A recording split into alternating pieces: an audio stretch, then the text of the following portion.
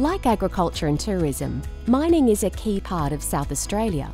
But mining and the exploration to find those minerals can understandably cause concern when it affects people's lives.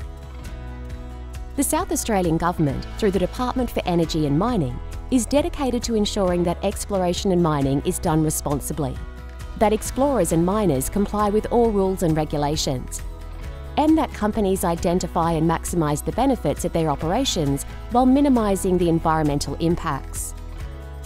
Exploration provides information about where minerals may be found under the ground. This may sound easy, but it's actually like finding a needle in a very large haystack. It typically occurs over a large area and can take months or years to narrow down which sections need closer inspection. It's rare that explorers find a mineral deposit that's big enough to mine. In fact, only about 1% of discoveries are worth mining. Exploration can include a range of activities, including, in the early phases, desktop data analysis, airborne surveys in specialised exploration planes, on-ground mapping and field work.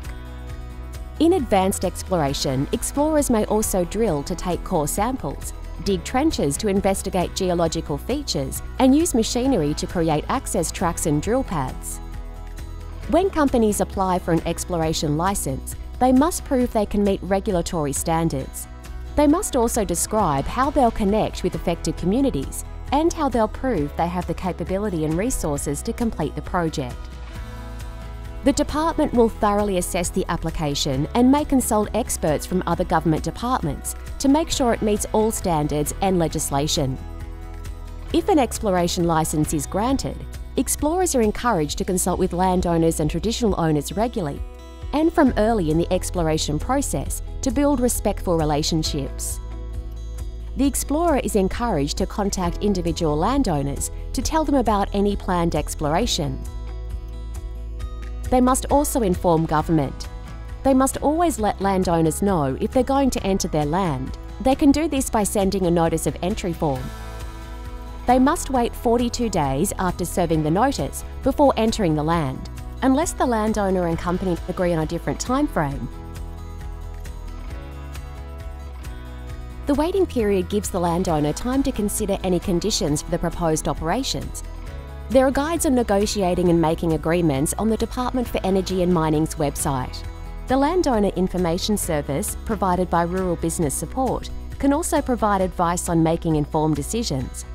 To conduct exploration activities, the explorer must have an approved program for environment protection and rehabilitation, or PEPR for short, in place.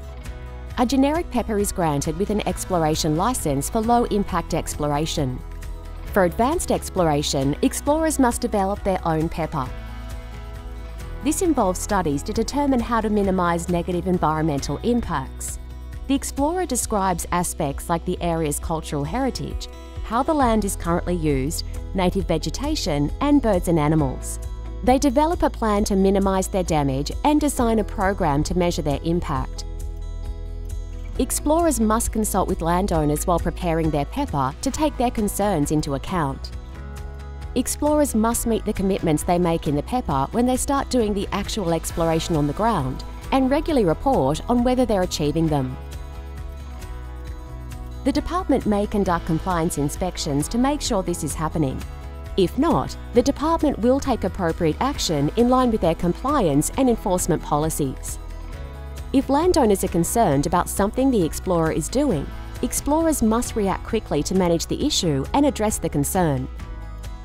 Under their licence and the PEPR conditions, the company must rehabilitate any disturbed area.